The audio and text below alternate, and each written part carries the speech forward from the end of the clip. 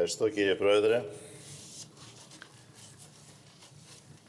Ομολογώ ότι είναι λίγο περίεργο να μιλάει κανείς πίσω από τα τζάμια, σαν να είναι κλεισμένος σε κάποιο κλουβί.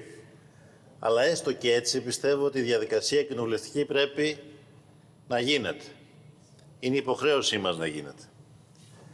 Η κρίση της πανδημίας είναι γεγονός ότι μας ανάγκασε όλους μας να αναστείλουμε οικειοθελώς μέρος των ατομικών μας ελευθεριών, να αφήσουμε τις δουλειές μας, να μείνουμε στα σπίτια μας, προκειμένου να περιορίσουμε τη μετάδοση του ιού. Αυτή ήταν η κοινωνική μας ευθύνη, είναι η κοινωνική ευθύνη, η ατομική και συλλογική ευθύνη των πολιτών που έχουν ανταπεξέλθει με τον καλύτερο πιστεύω τρόπο, τον καλύτερο δυνατό τρόπο σε αυτή την πρόκληση. Και μας ανάγκασε βεβαίως να περιορίσουμε και την παρουσία των βουλευτών κατά τη συνεδριάση του Κοινοβουλίου και βεβαίως να πάρουμε και μέτρα προφύλαξης, ορθώς. Και σε ένα βαθμό όλα τα κόμματα δώσαμε τη συγκατάθεσή μας ώστε τα επίγοντα ζητήματα που αφορούν την πανδημία να αντιμετωπίζονται με διαδικασίες που το Σύνταγμά μας προβλέπει για παρόμοιες περιπτώσεις. Πολύ φοβάμαι όμως ότι από την πλευρά της κυβέρνησης αυτή η συγκατάθεση, αυτή η καλή θέληση της αντιπολίτευσης να βάλουμε όλοι μαζί πλάτη σε αυτόν τον συλλογικό αγώνα για να περιορίσουμε την εξάπλωση της νόσου εκλαμβάνεται στην ε, καλύτερη περίπτωση ως αδυναμία, στη χειρότερη περίπτωση ως ευκαιρία. Ως ευκαιρία για νομοθετικές παρεμβάσεις δίχως διάλογο και δίχως λογοδοσία, ως ευκαιρία για αναθέσεις έργων χωρίς διαγωνισμούς, ως ευκαιρία για δουλειές, δουλίτσες ή και μεγαλύτερες δουλειές εκατομμυρίων, με διασπάθηση δημόσιου χρήματος σε ημέτερους. Και πιστεύω ότι κάνετε πολύ μεγάλο λάθος. Αν πιστεύετε ότι μπορείτε να εκμεταλλευτείτε αυτή την καλή διάθεση, αυτή την πρόθεση όλων πιστεύω των κομμάτων της αντιπολίτευσης, να βάλουμε πλάτη απέναντι στον δημόσιο κίνδυνο της πανδημίας, να το αντιλαμβάνεστε ως αδυναμία ή ακόμα χειρότερα ως λευκή επιταγή. Να νομοθετείτε, να αποφασίζετε και να μην δίνετε λογαριασμό σε κανέναν. Και κάνετε μεγάλο λάθος αν νομίζετε ότι η σχεδόν ολοκληρωτική απουσία κριτικής προς την κυβέρνηση από τα μεγάλα ενημερωτικά συγκροτήματα θα αποτελέσει εν τέλει αποτελεσματική ασπίδα προστασίας. Αυτή η μεταδημοκρατική ή θα έλεγε κανείς μεταδημοσιογραφική συνθήκη της απόλυτης αποσιώπησης κάθε κριτικής, κάθε αντιπολιτευτικής φωνής των τελευταίων μηνών, όπως διαπιστώσατε τις τελευταίες μέρες, τις μέρες του Πάσχα και αμέσως μετά, δεν ήταν αρκετή για να κρύψει, να συγκαλύψει ένα κορυφαίο σκάνδαλο εξυπηρέτησης φιλικών επιχειρηματικών συμφερόντων με δημόσιο χρήμα, αλλά και εμπεγμού, και ίσως αυτό να είναι το χειρότερο, εμπεγμού εκείνης της κοινωνικής ομάδας, εκείνης της κοινωνικής κατηγορίας, το όνομα της οποίας ο κ. Μητσοτάκης έστησε την αντιπολιτευτική του ρητορική όλα τα προηγούμενα χρόνια. Διότι οι πιο χαρακτηριστικοί εκπρόσωποι της λεγόμενης μεσαίας τάξης είναι οι επιστήμονες, οι αυτοαπασχολούμενοι, οι ελεύθεροι επαγγελματίες, τους οποίους προσβάλλατε βάναυσα με αυτήν την τηλεκατάρτιση φιάσκο και την οποία υπό το βάρος της γενικευμένης κατακραυγής και υπό το βάρος της δυνατότητας που υπάρχει πια, ανεξάρτητα βεβαίως από το, τον έλεγχο της ενημέρωσης από τα μεγάλα συγκροτήματα, τη δυνατότητα που υπάρχει πια η, τα γεγονότα να μεταδίδονται με μεγάλη ταχύτητα. Εξαιτίας της ε, χάρη μάλλον στα, δίκτυα, στα, στα μέσα κοινωνικής δικτύωσης. Όταν λοιπόν κάποιος υφίσταται μια τεράστια αδικία και έναν εξευτελισμό, τότε έχει τη δυνατότητα απλά με μια κίνηση, με μια φωτογραφία από το κινητό του, να βγάλει στη δημόσια σφαίρα αυτό το γεγονός, που κανείς τελικά δεν μπορεί να το αποκρύψει. Και αναγκαστήκατε να αποσύρετε άρον-άρον και κακήν κακός αυτή την πρωτοβουλία. Δεν σας έσωσε λοιπόν ούτε η ασπίδα των μέσων, ούτε το λιβανιστήρι κάποιων ενημερωτικών εκπομπών. Όχι μόνο αυτή η γραμμή του αόρατου αρχισυντάκτη, θα έλεγε κανείς των δελτίων, δεν μιλάμε για το θέμα, κανείς δεν μιλάει για το θέμα. Όχι μόνο λοιπόν αυτή η αόρατη γραμμή δεν ήταν αρκετή να μείνει το θέμα κρυφό, αλλά σας έκανε και μεγαλύτερη ζημιά. Διότι η αλαζονία των στελεχών σας μέχρι την τελευταία στιγμή, μέχρι προχθές το πρωί, να λένε ψέματα στον ελληνικό λαό και στους ανθρώπους που παρακολουθούσαν. Η αλαζονία των υπουργών σας να παρελάβουν αυτοεξευτελιζόμενοι στις τηλεοπτικές εκπομπές, σαν περιφερόμενος θείασος και με περισσό θράσος να υποστηρίζουν τη μεγάλη αυτή αρπαχτή των βάουτσερς, σας έχει εκθέσει ανεπανόρθωτα. Και εσάς ως κυβέρνηση, αλλά και το συστημικό δημοσιογραφικό κατεστημένο που σας στηρίζει και που αναγκάστηκε τη μια να λέει τι καλό που είναι αυτό το πρόγραμμα και πώς είναι δυνατόν κοντζάμα αρχηγός της αντιπολίτευσης να ασχολείται και να κάνει ερώτηση για αυτό το θέμα στον Πρωθυπουργό εν μέσω πανδημίας. Το πρωί τα λέγανε αυτά και το ίδιο βράδυ οι ίδιοι άνθρωποι βγαίνανε στα τηλεπαράθυρα και λέγανε τι καλός που είναι ο κ. Μητσοτάκης που αυτό το άθλιο πρόγραμμα το πήρε πίσω. Ρεζίλη το σχηλιών γίνεται. Και εσείς και αυτοί. Τι ακριβώς όμως πήρε πίσω ο κ. Μητσοτάκης, ο οποίος δεν ήρθε σήμερα στην ερώτηση που του κατέθεσα στην ώρα του Πρωθυπουργού. Προφανώς δεν ήρθε. Δεν έχει τι να πει. Τι ακριβώς πήρε πίσω, τι ακριβώς ακύρωσε. Ποιος έχει εν τέλει την ευθύνη για αυτή τη μεγάλη κομπίνα που πήγε να στηθεί.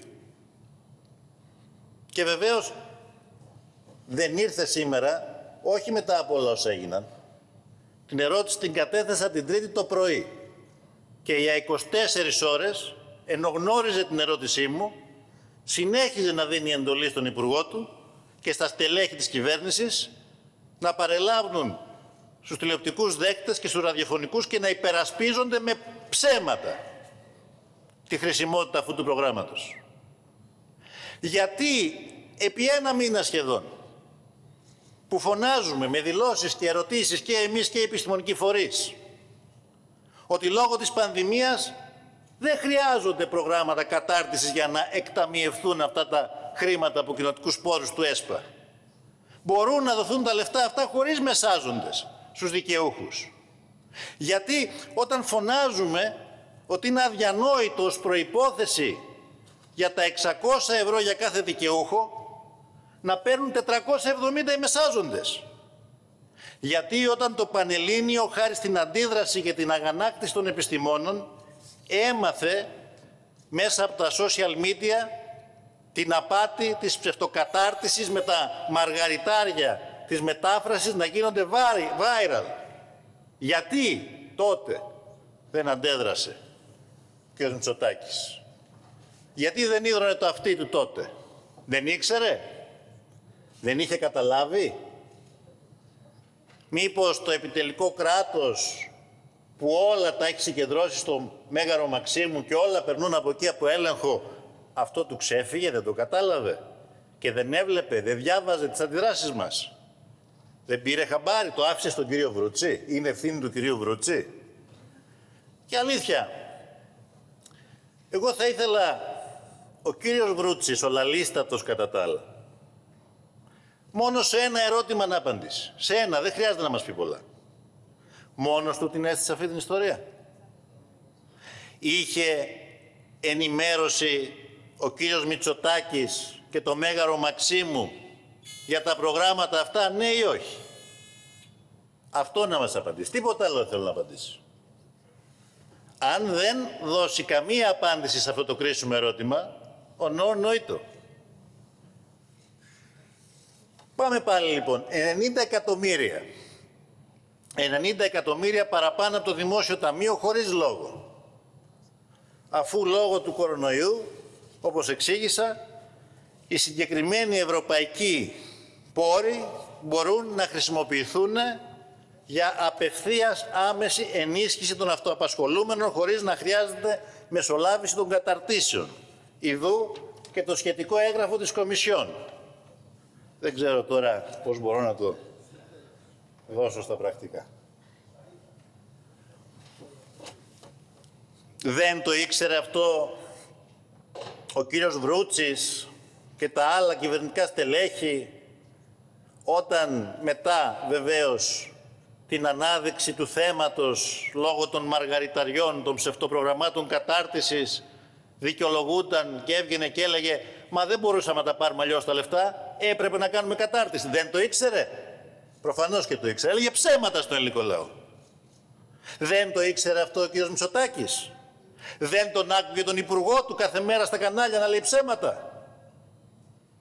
Άρα λοιπόν 90 εκατομμύρια χωρίς λόγο παραπάνω το Δημόσιο Ταμείο. Λιγότερα χρήματα στους επαγγελματίες για να πάρουν περισσότερα οι μεσάζοντες. Για να δώσω μια τάξη μεγέθους, εάν έπαιρναν απευθείας τα 600 ευρώ, το Δημόσιο Ταμείο θα φεύγαν 110 εκατομμύρια. Αν πέραν 800 ευρώ, 144 εκατομμύρια. Τώρα πήρανε μέσω βάουτσερ, αλλά φύγανε 193 εκατομμύρια ευρώ από τα δημόσια ταμεία, 85 σχεδόν εκατομμύρια στους μεσάζοντες. Και από αυτά η μερίδα του Λέοντος σε 5-6 μονάχα κέντρα κατάρτισης των οποίων οι πλατφόρμες εγκρίθηκαν και πάνω σε αυτές τις πλατφόρμες θα κρεμιόντουσαν όλα τα υπόλοιπα κέντρα κατάρτισης που υποτίθεται ότι θα δίνανε ε, διαδικασία εκμάθησης στους δικαιούχους. Πόσα αλήθεια θα εισέπραταν αυτά τα έξι προνομιούχα κέντρα κατάρτισης που θα νίκιαζαν τις ε, πλατφόρμες τους από αυτά τα 85 είναι ένα ερώτημα. Κάποιοι κάνουν λόγο για 35 εκατομμύρια. Σαφής απάντηση δεν έχει δοθεί μέχρι σήμερα. Αλλά κάποια στιγμή πρέπει να δώσετε. Και το αποκορύφωμα της απάτης η πρόσκληση προς τα κέντρα κατάρτισης βγαίνει, μένει ανοιχτή μόλις για τρεις μέρες και ότου θαύματος μέσα σε τρεις μέρες τα 5-6 αυτά συγκεκριμένα κέντρα κατάρτισης που έχουν τις πλατφόρμες καταθέτουν εκπαιδευτικό υλικό για 10 ολόκληρες ειδικότητες χιλιάδων σελίδων. Αλήθεια θα μας εξηγήσει κανείς πώς αυτά τα συγκεκριμένα κέντρα κατάφεραν μέσα σε τρεις μέρες να ετοιμάσουν προγράμματα δεκάδων χιλιάδων σελίδων. Δεν είναι δυνατόν να πιστέψουμε ότι όλο αυτό έγινε χωρίς προσυνεννόηση. Και το κυριότερο, αυτό το εκπαιδευτικό υλικό με τα μαργαριτάρια, με την ε, μετάφραση από το Google Translate, εγκρίθηκε από το Υπουργείο Εργασίας και τον Υπουργό και έχει την υπογραφή του κυρίου Βρούτσι. Και δεν είναι μόνο οι ασυναρτησίες.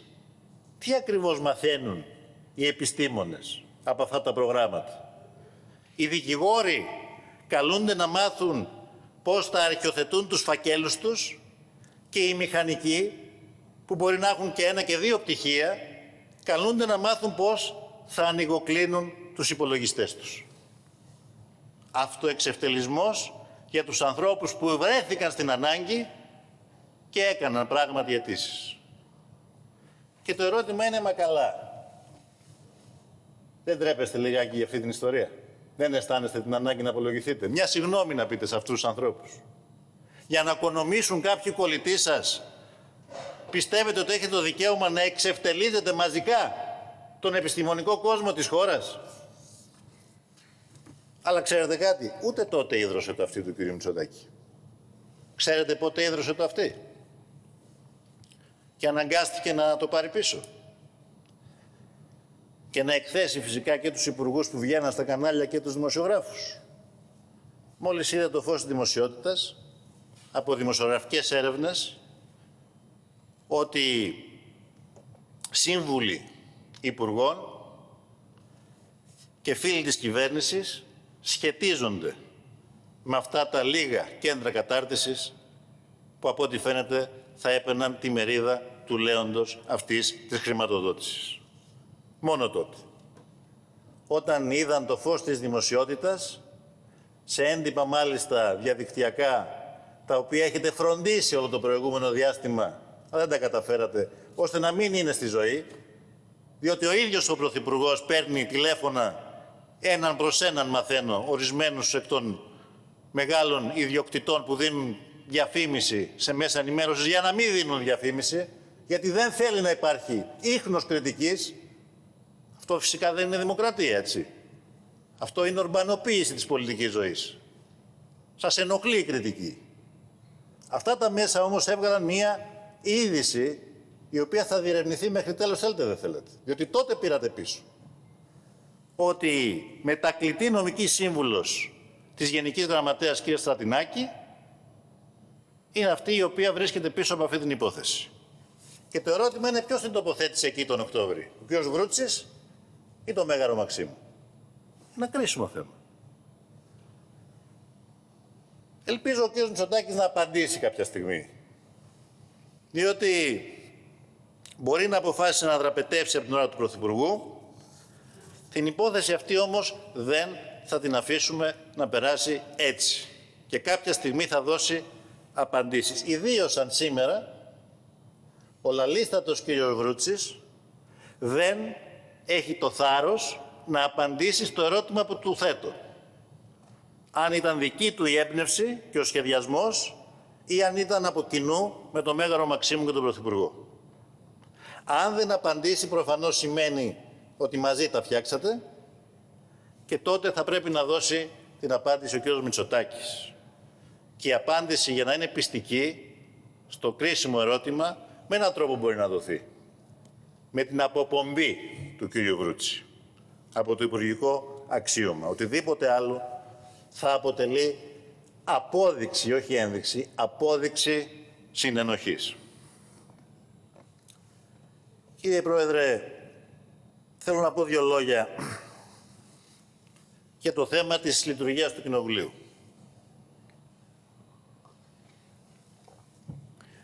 Για πόσο καιρό θα συνεχίζεται, κύριε και κύριοι βουλευτές, αυτή η ιστορία της ε, διεξαγωγής νομοθετικού έργου μέσα από προτάσεις νομοθετικού περιεχομένου, μέσα από ποινική. Οι πολίτες είναι σε καραντίνα, βεβαίως και θα είναι ενδεχομένως για λίγο καιρό ακόμα. Η δημοκρατία όμως δεν μπορεί να είναι σε καραντίνα επαόριστον. Και είναι, πιστεύω, το λιγότερο ντροπή τη στιγμή που ο λαός μας δείχνει τη θέληση και την πειθαρχία που χρειάζεται για να ξεπεράσουμε την πανδημία, τη στιγμή που σύσσωμη η αντιπολίτευση στηρίζει όσες αποφάσεις ακολουθούν τις εισηγήσεις των επιστημόνων, κάποιοι να βρίσκουν ευκαιρία για παιχνίδια διαφθοράς και να μην έχουν το θάρρος στο όνομα ακριβώς αυτής της έκτακτης ανάγκης να λογοδοτούν, έστω εδώ στο νέο της Δημοκρατίας, έστω με αυτά τα περιοριστικά μέτρα, με τα plexiglass και την ε, αραιή παρουσία των βουλευτών, αλλά να λογοδοτούν. Από τις αρχές Φλεβάρι έχουν εκδοθεί εννέα πράξεις νομοθετικού περιεχομένου και δεν περιλαμβάνουν μόνο τα έκτακτα αναγκαία μέτρα αντιμετώπισης υγειονομικής κρίσης, αλλά και τον οικονομικό σχεδιασμό της κυβέρνησης. Με τον τρόπο αυτό προκαλείται με τα χρονολογημένες συζητήσεις, αποφεύγεται την έγκαιρη συζήτηση στη Βουλή για να μην αναμετρηθείτε με τις προτάσεις της αντιπολίτευσης για τη στήριξη της κοινωνίας και για να μην υποβληθείτε σε ουσιαστικό κοινοβουλευτικό έλεγχο. Αυτό, αυτό συμβαίνει. Αποφασίζετε, μαθαίνω, ή έτσι λένε τουλάχιστον τα μέσα ενημέρωσης. δεν ξέρω αν αυτό γίνεται με την εισήγηση των επιστημόνων, είναι κάτι το οποίο μένει να διερευνηθεί. Δεν μας το είπαν δημόσια επιστήμονες όμως, ότι αποφασίζεται το πρώτο πράγμα που θα επαναλειτουργήσει στη χώρα να είναι τα δικαστήρια και τα υποθηκοφυλακία. Για ποιο λόγο πρώτα αυτά; Τόσο σημαντική είναι αυτή η δουλειά πια που πρέπει να ανοίξουν πρώτα τα δικαστήρια και δεν ανοίγεται τα κουρία para να κουρευτούμε κιόλας; Βλέπω εδώ οι περισσότεροι στην αίθουσα χρειάζονται κούρεμα. Εκτός από κάποιους οι οποίοι έχουν τη δυνατότητα με μια μηχανή. Γιατί λοιπόν, γιατί το κάνετε αυτό; Κάποιοι λένε το κάνετε αυτό διότι πρέπει κατά προτεραιότητα να ικανοποιηθούν τα αιτήματα των τραπεζών και των φαντς για τις προσημειώσεις και για τις κατασχέσεις. Άραγε είναι σημαντικότερη σημαντικότερες οι ανάγκες των τραπεζών και των φαντς από τη λειτουργία της δημοκρατίας και άρα εσείς ανοίγετε τα, λειτουργία, τα δικαστήρια να λειτουργούν για να γίνεται η δουλειά των τραπεζών και εδώ θα συνεχίζετε να νομοθετείτε με πράξη νομοθετικού περιεχομένου. Και βεβαίως να μην έρχεστε και στο κοινοβουλευτικό έλεγχο, να μην έρχεται ο κ. Μητσοτάκης στην ώρα του Πρωθυπουργού και να απευθύνεται διαρκώς και μονάχα με διαγγέλματα στον ελληνικό λαό, λες και είναι αυτοκράτορας και να φέρνει εδώ άλλους υπουργούς να απαντούν στον αρχηγό της αντιπολίτευσης, αρχηγού των κομμάτων, λες και είναι η ανταυτού, η αντιβασιλής. Δεν γνωρίζω ότι έχουμε αλλάξει το πολίτευμά μας. Εμείς λοιπόν δεν θέλουμε και δεν θα επιτρέψουμε να συνεχιστεί αυτή η ιστορία. Και δεν μπορεί να συνεχίζεται για πολύ αυτή η ιστορία. Σας καταθέσαμε την ε, πρόταση για την παράταση της προστασίας πρώτης κατοικίας. Την καταψηφίσατε. Σας συγκαταθέτουμε και σήμερα. Πάλι δεν την εγκρίνετε. Γιατί; Μας λέτε ότι υπήρχε από πριν η ημερομηνία, μα βεβαίως υπήρχε μια ημερομηνία που όριζε ότι μέχρι τότε θα έπρεπε να έχει βρεθεί ένα άλλο πλαίσιο, αλλά πλαίσιο προστασίας πρώτης κατοικίας. Δεν έλεγε ότι δεν θα υπάρχει τίποτα. Η υποχρέωσή μας, η μεταμνημονιακή, που ορθώς αναρωτήθηκε και κάποιος βουλευτής, είναι συγκεκριμένη. Δεν λέει ότι δεν θα υπάρχει μετά τις 31 Απριλίου καμία προστασία της πρώτης κατοικίας. Εσείς όμως έχει φτάσει η ημερομηνία αυτή και βλέπω ούτε για αυτό το ζήτημα εδρώνεται αυτή σας. Ξέρετε, όλα αυτά είναι κρίσιμα ζητήματα και αν νομίζετε ότι θα μπορέσετε να τα ξεπεράσετε ε, αξιοποιώντας την δικαιολογία της κρίσης της πανδημίας και του κορονοϊού και την ε, ασπίδα προστασίας που έχετε απορισμένα μέσα ενημέρωση, κάνετε λάθος. Διότι αυτά τα ζητήματα δεν είναι ζητήματα που αφορούν τα κόμματα της αντιπολίτευσης και μια συζήτηση που μπορεί να γίνεται στα καφενεία μόνο και στους διαδρόμους της Βουλής. Αφορά μεγάλη πλειοψηφία πολιτών. Και αυτοί θα τα θέσουν. Όχι οι βουλευτές του ΣΥΡΙΖΑ. Αυτοί θα τα θέσουν. Οι πολίτες όπως οι επιστήμονες σηκώσαν στην πλάτη τους στο ζήτημα των βάουσες. Έτσι και αυτό θα έρθει αχώς κοινωνικός. Αν αφήσετε χωρίς προστασία την πρώτη κατοικία την ώρα που λέτε στους ανθρώπους να μείνουν στα σπίτια τους για να προστατευτούν από τον ιό. Εμείς λοιπόν θα επανακαταθέσουμε και την ερώτηση στον Πρωθυπουργό να έρθει την άλλη Παρασκευή όσο λείπατε κυρία Γεραπετρίτη, γιατί ξέρω ότι πιθανόν εσείς να απαντήσετε, δεν έχω κάτι προσωπικό μαζί σας. Ίσα ίσα. Είστε συμπαθείς αλλά να πιούμε κανένα καφέ έξω να είστε συμπαθείς. Εδώ θα έρχεται να απαντάει στον αρχηγό της αντιπολίτευσης και στους αρχηγούς των άλλων κομμάτων ο Πρωθυπουργός, όχι ο ανταυτού. Δεν ξέρω αν σας έχει ορίσει και για ανταυτού. Λέω λοιπόν ότι θα επανακαταθέσω την ερώτηση. Προφανώς με επικαιροποιημένα ερωτήματα για την άλλη Παρασκευή. Και προφανώς και για το κρίσιμο μεγάλο θέμα της οικονομίας θα καταθέσουμε τις επόμενες μέρες πρόταση για διεξαγωγή συζήτησης προημερησίας διότι προφανώς γνωρίζουμε όλοι ότι αυτό που έρχεται θα είναι ούτως ή άλλως δύσκολος, αλλά με την πολιτική σας και με την αδράνειά σας δεν θα είναι απλά δύσκολο. Θα είναι οδυνηρό.